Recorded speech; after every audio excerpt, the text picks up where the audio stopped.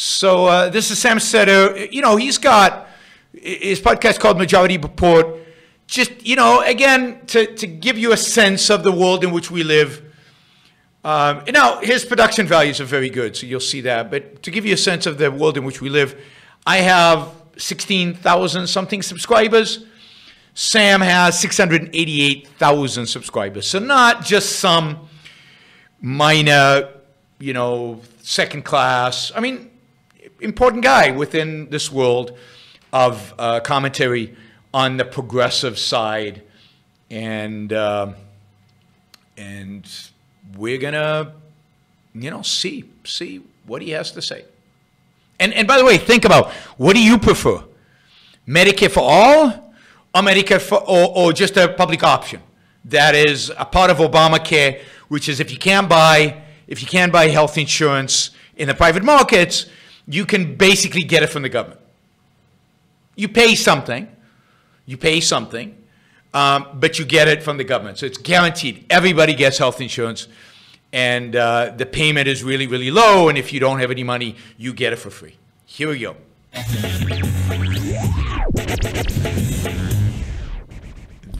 The one This is interesting. Sam. When we talk about Joe Biden's desire to add a public option. They hate Joe Biden, by the way. uh, to the uh, the Affordable Care Act, even one that people could buy into, um, as opposed to just being limited as the ACA is now to people who don't have an option of getting health insurance through their employer or any other way, and subsidies only being available up to a, a certain percentage of of um, of, of wealth in the So the idea again is that the public option would allow anybody to get health insurance. It would be completely subsidized, so i- i- you know, it wouldn't be capped. It would be completely subsidized, it- and it would be run by the government. That is, it would be an extension of Medicare, which is which is really really important. And and as you'll see, Sam is not a fan of this because he's a, he's a Bernie fan. He wants Medicare for all. country, certain uh, percentage of poverty, and the idea that um, you know costs are, are crazy. The real question is like, how do you uh, cut costs? Well, here is the former Medicare administrator, Dr. Don Berwick. He, So the big issue is with all these discussions about healthcare is costs. How do you, I mean, health care in the United States supposedly, uh, the, the Democrats, the progressives argue, is very, very expensive. Costs are through the roof. They're really, really expensive. So how do we cut costs?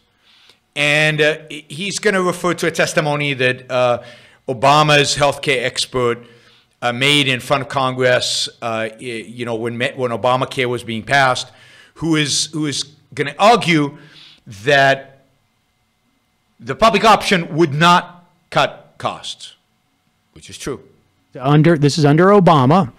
He explains um, why the public option um, at a House hearing will not be sufficient for uh, for containing medical costs.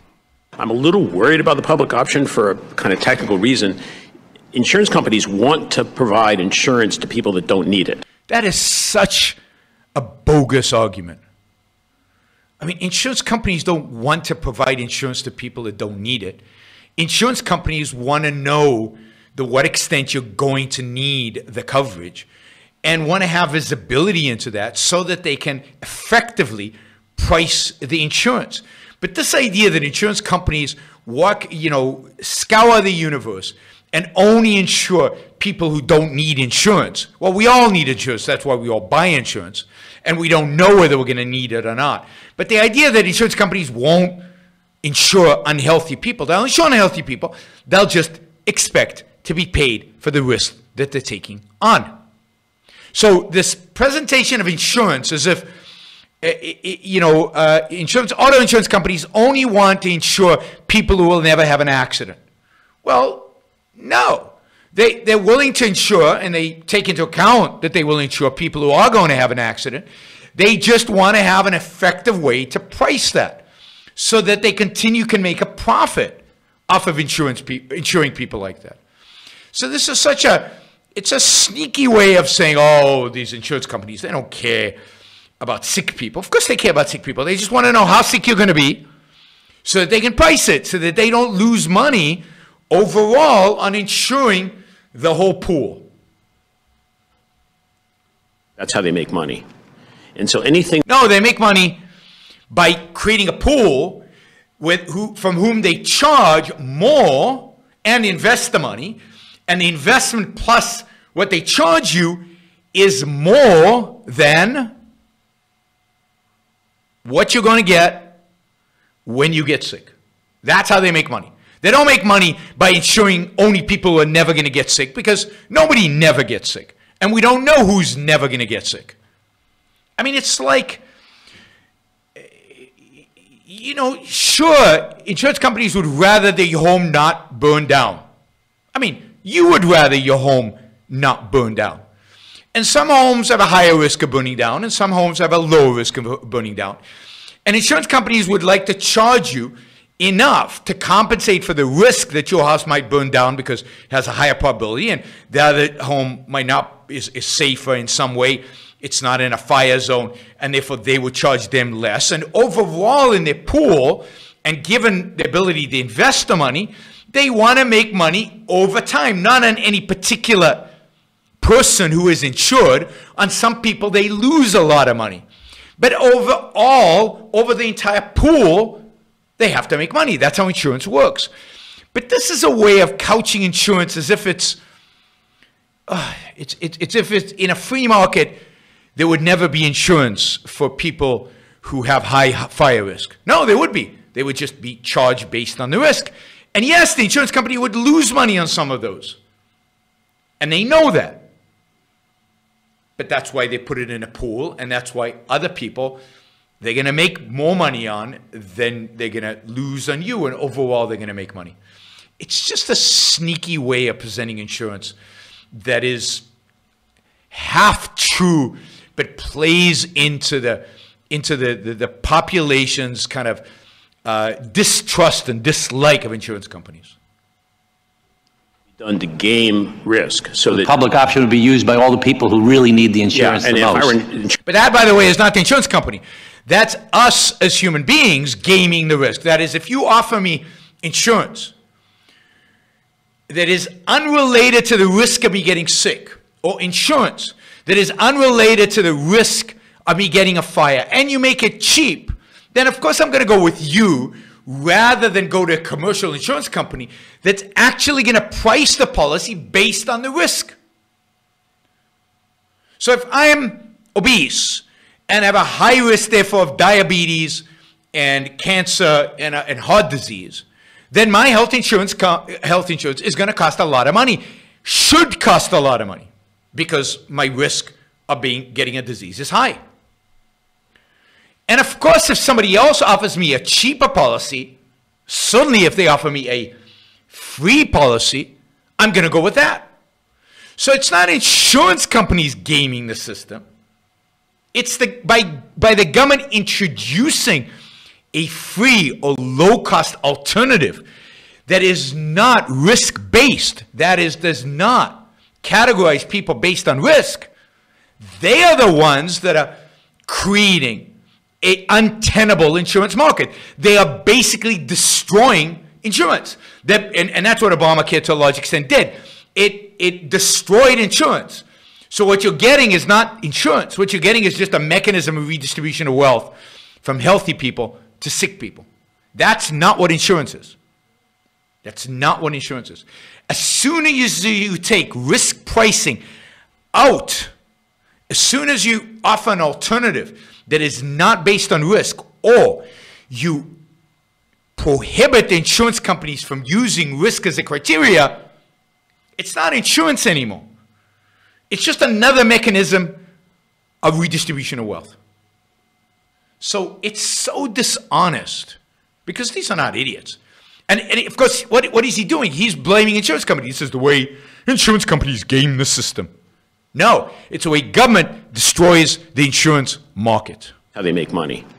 And so anything that can be done to game risk so that Public option would be used by all the people who really need the insurance. Yeah, insurance and the if I were, most. in- insurance companies would then try to find ways to have uh, people who really need care go to the public option, which would enrich, it would, it would make, it would, uh, it'd be a good business case for them, and that's not good for the country. It's not what happens. It's not the insurance companies trying to get them to go go go onto the the the public option. That is what the incentives mean. That's what has to by necessity happen. If I tell you you pay because you're you're you're likely to be sick, you have to pay thousand dollars, and the government is giving you a policy for hundred dollars. You're going to go with the government policy. That's just market incentives. That's just human incentives. But it's much easier, instead of saying government has just destroyed the insurance market, to say greedy insurance companies are manipulating the public to force them into government policies. And by the way, if all the if all the sick people go into the public option, what happens? Prices in the public option go through the roof. It's not sustainable. And cost of Medicare expand dramatically. So, look, I mean, this is an extension of the argument as to why you can have private insurance if you have Medicare for all. It just needs to be supplemental to what is offered in the context of Medicare for all. So, this is where the Democrats are going to come down. You've got to have Medicare for all. Everybody has access to Medicare, and everybody's on Medicare automatically. You don't get to choose. And then if you want for special things, and we'll see he struggles to figure out what those special things are. If you want for special things, you can buy, you know, gold plated insurance on top of the government Medicare that you're going to get. That is what Medicare for All. That's the only plan that works because the problem with the public option is exactly what they what this guy said. All the highest risk, all the highest cost patients go to the public option bankrupt the Medicare system. It's bankrupt anyway. We'll get to that. And the insurance companies make a lot of money because they have all the healthy patients. That's exactly what would happen. But that's not the insurance company's fault. That's the fault of the people designing the system. And because if you have it compete with Medicare for all, the insurance companies are going to try and I don't know if they'd be able to He do it if, if, if. Medicare for all existed and you still had competing insurance. I, I mean, I get in my mind, it's an open question. For some, it's not. As to whether you would have enough people who enter into the Medicare for all program so that the risk pool, that is, all the people who are involved in the program, is um, the risk is dispersed amongst more people. Yeah, they need they need healthy and sick people in Medicare for all to make it somewhat work. It still doesn't work, and we'll get to that, but somewhat work. the whole nature of of insurance in terms of of health anyways and probably Not true. probably other i mean this is just the way insurance works it's a small number of people who are going to be responsible for the highest number of costs That is true. But smart insurance, all insurance companies that is not regulated by government, prices risk in advance to the extent that they have information about the risk. If you speed, if you, you know, and I believe in a free market, there'd be even more ways in which they could, they, they would put a, they, you know, you would get a discount. If you on your on your auto insurance, I think there are actually auto insurance companies that do this today. You would get a discount if you agreed to have a GPS tracker on your on your car, and if you drove well, if if they estimated that you're driving safely, you would get a discount on your car insurance. And if you were driving like a maniac, they would raise your premiums. The same thing with health insurance. They would actually evaluate your health. And to the extent that you were likely to be using a lot of health care, your premium would be higher than if you were jogging all the time. I guess if, if you assume jogging is good for you, you're healthy, uh, you know, eating well, uh, you know, we're keeping lean, we're, we're, we're, we're building muscle. If you were actually practicing a healthy lifestyle, your insurance costs would be lower. Now, it strikes me that even if you put aside the economics, isn't that just virtuous? If somebody behaves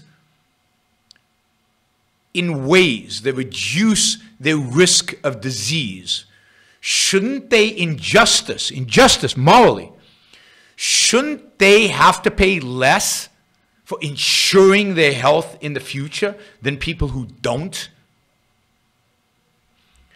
All insurance is risk based, otherwise, it's non insurance. It's not just we have a big pool, some are high risk, some are low risk, we don't know who they are. We just randomly have a big pool and somehow it works. It's not insurance. That's not the business of insurance. That's what government does. That's what government does. Because government can't price it differently. Government prices it all the same. So Medicare, I mean, is based on your income, not on your risk. The, the more income you have, the more you pay into the system. And yet, you get the same benefits as somebody who paid little into the system. You get in whether you're healthy or unhealthy, makes no difference. You pay based on your income. So all it is is a way to penalize rich people. And it's not insurance. Medicaid is not unequivocally insurance. It's a massive redistribution scheme from rich to poor, from young to old. That's what Medicare is. Rich to poor, young to old. And you might be okay with redistribution systems, but don't kid yourself that Medicare is somehow an insurance. It has none of the characteristics of an insurance. But the point is, we don't know who those people will be over the course of a lifetime. But you could know. You could know. You could take their blood pressure. You could take their weight. You could take their blood. You could, oh my God, now I'm going to say something completely unacceptable. You could even check their DNA and see how susceptible they are to diseases. Imagine a true free market where insurance companies asked you if you're willing to give your DNA. And if the DNA turned out to be on the healthy side, that is, you were less susceptible to certain diseases, you would get really, really cheap coverage. And if your DNA sucked, then you would have more expensive coverage. But that makes sense. That makes sense. Now, it's true. The risk is not your fault, not there. It just is. But so what? Insurance companies should take all the available information into account in pricing insurance. Now, even with DNA, there's no guarantee that you will be sick. Now, there's also other options. You know, what about pre existing conditions? Uh, somebody on the left would jump up. Well, one thing that a free market would supply and, and this makes complete sense, is you would be able to buy pre-existing condition insurance.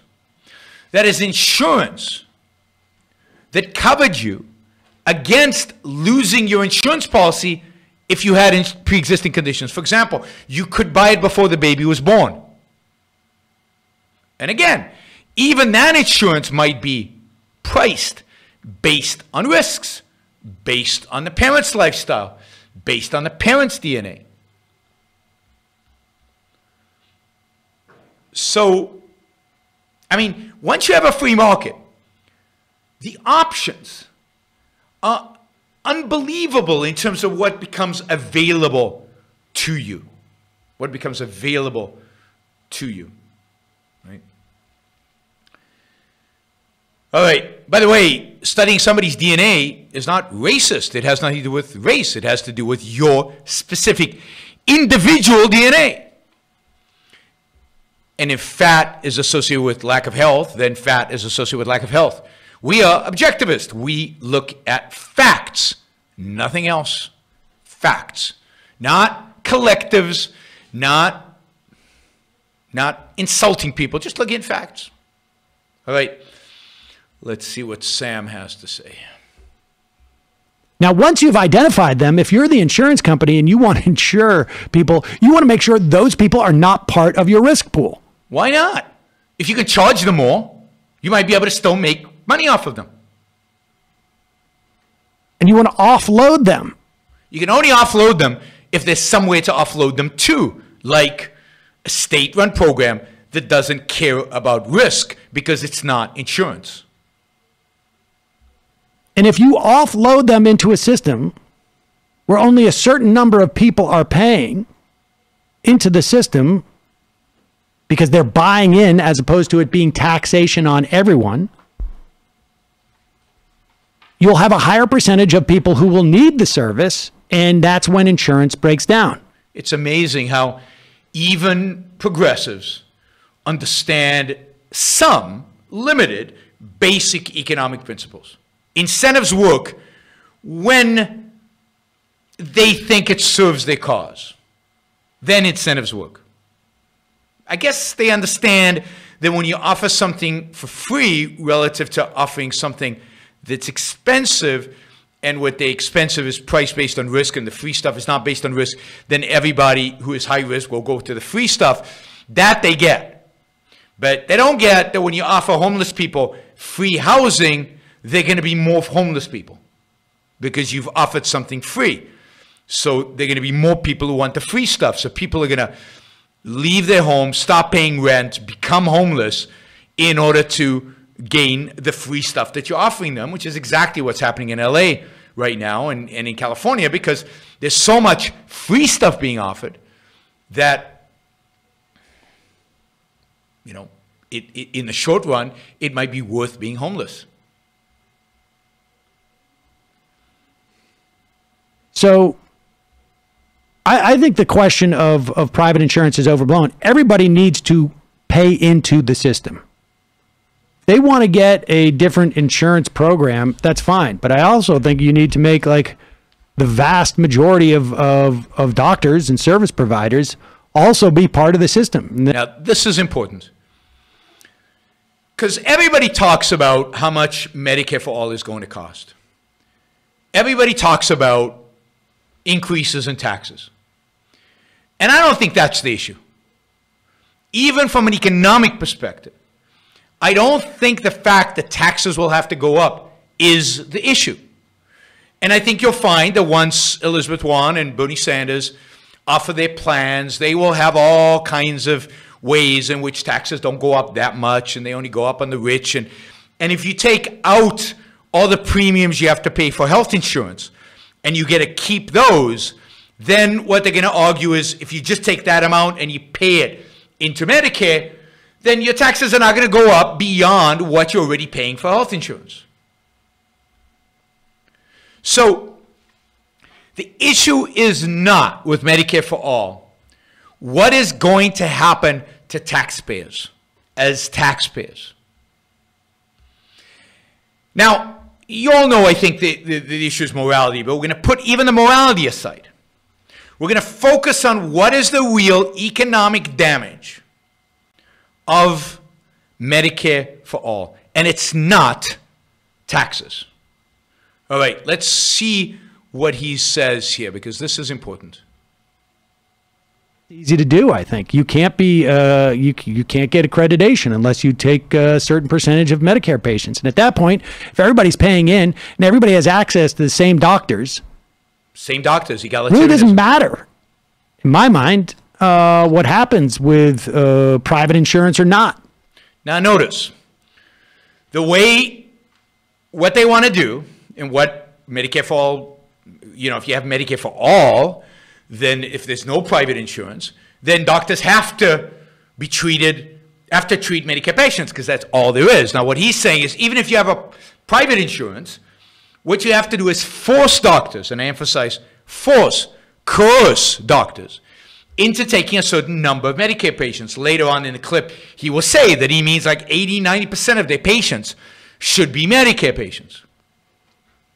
Now, what does this actually do? So notice that behind Medicare for All is a massive, massive scheme to coerce doctors, hospitals, drug companies, biotech companies, all the entire medical production, the real damage of Medicare for all is not the taxes. The real damage is to the producers of healthcare. And this is something nobody ever talks about. Healthcare is something that has to be produced. Somebody has to produce healthcare, whether it's doctors, whether it's pharmaceutical companies, whether it's pharmacists, whether it's scientists, whether it's biotech companies, uh, medical device inventors and companies, uh, hospitals, nurses, healthcare has to be produced by all these people.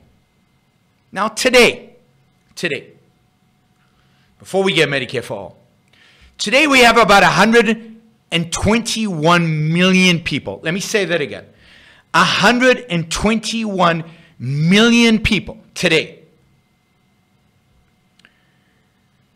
are on either Medicare or Medicaid. It's about 53 million people over 65 who are on Medicare and about 68 million, 68 million people on Medicaid. 121 million people on Medicaid and Medicare. Another 177 million people on commercial insurance. So today what happens is the people in Medicare and Medicaid, when they go see a doctor or they go to the hospital, Medicare and Medicaid pays the bill. Now, what does that mean? That means that the doctor doesn't get what he wants. The doctor doesn't get what he negotiates. The doctor doesn't necessarily get enough money to cover his costs. What the government, what the doctor and the hospital get, and if and if uh, drug companies, if Medicare negotiates as a plan with with drug companies, same thing will happen with drug companies. What they get is what Medicare decides they get.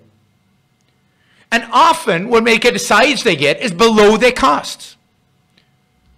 Indeed, the reason healthcare is so expensive for all of us who have private insurance is because not only are we subsidizing Medicare and Medicaid for people through our taxes, we are subsidizing people on Medicare and Medicaid through the cost of healthcare. We are subsidizing it because the doctor, on average, gets 22% less from Medicare than from, than, than from private insurance. 22% less. Now, in some specialities, they get 75% less they get 20, 25 cents on the dollar. So, in general, when a Medicare patient comes to see a doctor, they get paid ridiculously low rates. Well, they need to survive.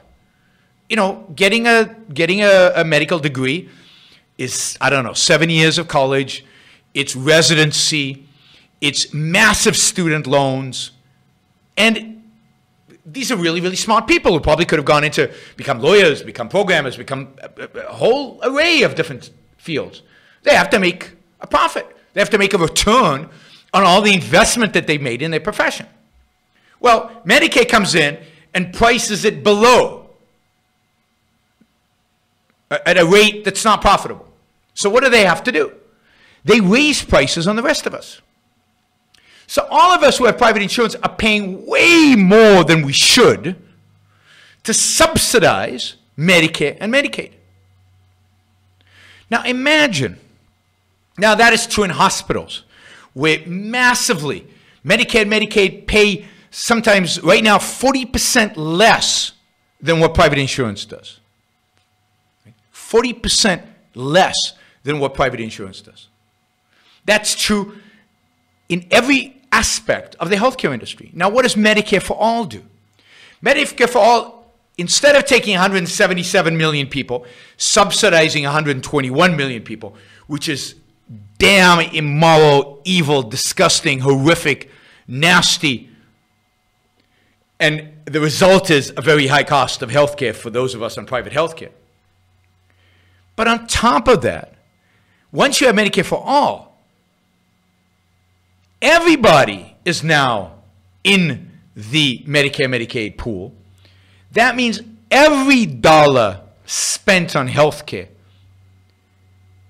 is 20, 40, 75% less than what we'd be spent with private insurance, which means doctors now can't make up the losses from taking Medicare patients. Now they're just losing money. Now, what does that do? That means doctors stop working, retire early, don't go to medical school, don't try, why bother? You're not going to be paid for it. You're not going to get a return for it. And indeed, the political, the political, as healthcare costs expand and as more and more people retire and they go, well, everybody's on Medicare, but they use more healthcare, so the costs go up. What do you think is going to happen? The government's going to have all these expenses. What are they going to do? They're going to start cutting. But they're not going to cut explicitly. They're not going to say, we're not going to pay for your appendix. We're not going to pay for your cancer. What they're going to say is, oh, no, no, we'll continue to pay. But we're going to pay the doctors less. We're going to pay the hospitals less. We're going to pay less for an MRI. We're going to pay less for the drugs. And what's that going to result in? Less profitability for doctors, hospitals, drug companies, healthcare providers, producers of all kinds. Less profitability for them, if any. Some of them go out of business. Some of them, you know, retire which is like going out of business. Others just lower the quality. You can see that in Puerto Rico where there's a shortage of doctors. What happens? Huge waiting lines. You know, uh, they only have 10 minutes per patient. They can't treat you properly. They can't give you the time, proper time. I mean, the doctors are trying. They're good doctors. They really make an effort, but they can't. They're making something like 15 bucks per patient. Well, how many patients a day do you have to see if you're only going to make 15 bucks per patient? A lot. A lot. Now, quality of care goes down. MRI facilities shut down. Hospitals shut down. And because there's less profit, if any, there's almost no research being done.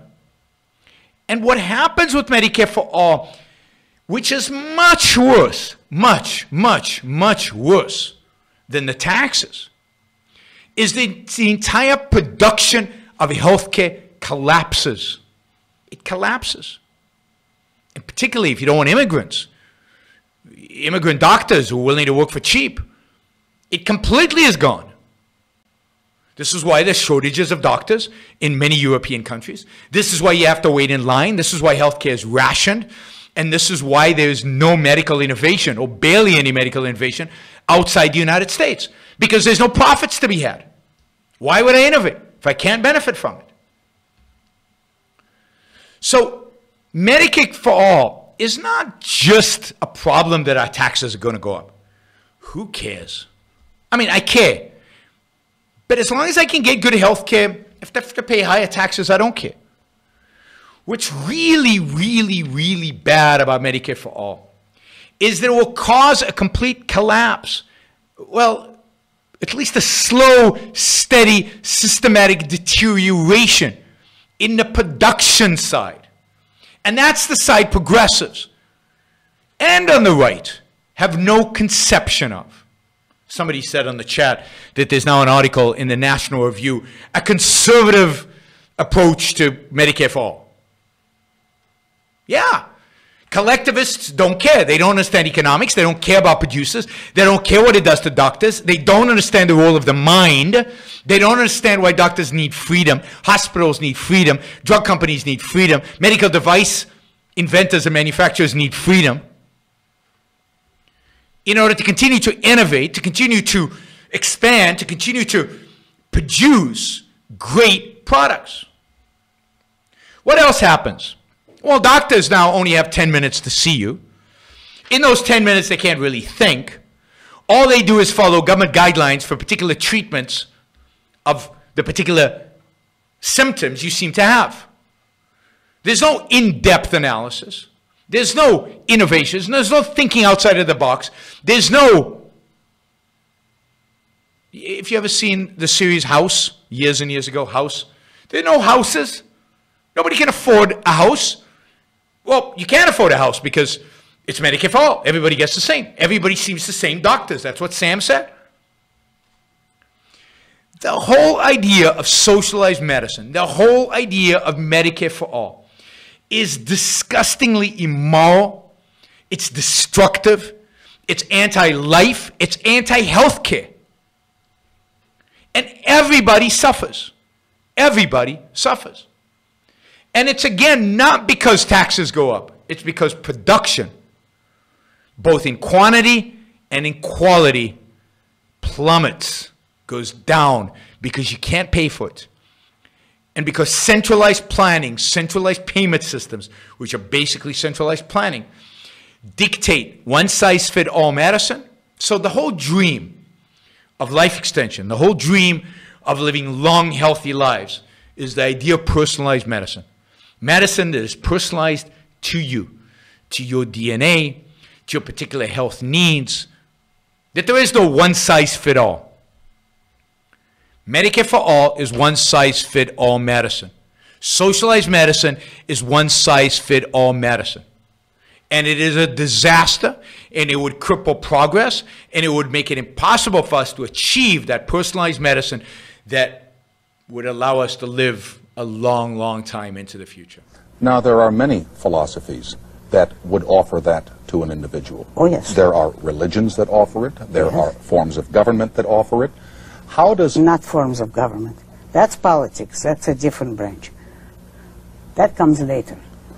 Well, yes, but governments in some areas, in some instances, would define for you choices or dictate to oh, you Oh, yeah. how to live your life. Yeah. But I'll retract governments and just say religions are Yeah. philosophies. How does objectivism differ from the philosophies that many of us have been exposed to in our youths? Uh, philosophies based upon religions, theologians, dogmatists. The f- very first difference. Uh, objectivism tells you that it is not right, it is not proper to man to take anything on faith. Religion is a matter of faith. You accept a religion emotionally or because you were born to it. You have not chosen it rationally. What objectivism will tell you is that reason, man's reason is his basic means of survival. That is the most important faculty which he has, and he has to guide his life and make his choices by means of his rational faculty. He has to make his own choices, but he has to know how to make them. It is immoral for him to act on his emotions, to be guided by the whim of the moment. That objectivism holds as very wrong, very immoral. And morality, in fact, consists of following your reason to the best of your ability. So that rationality is the basic virtue from which all the others proceed. using the super chat. And I noticed yesterday when I appealed for uh, support for the show, many of you stepped forward and actually uh, supported the show for the first time. So I'll do it again. Maybe we'll get some more today.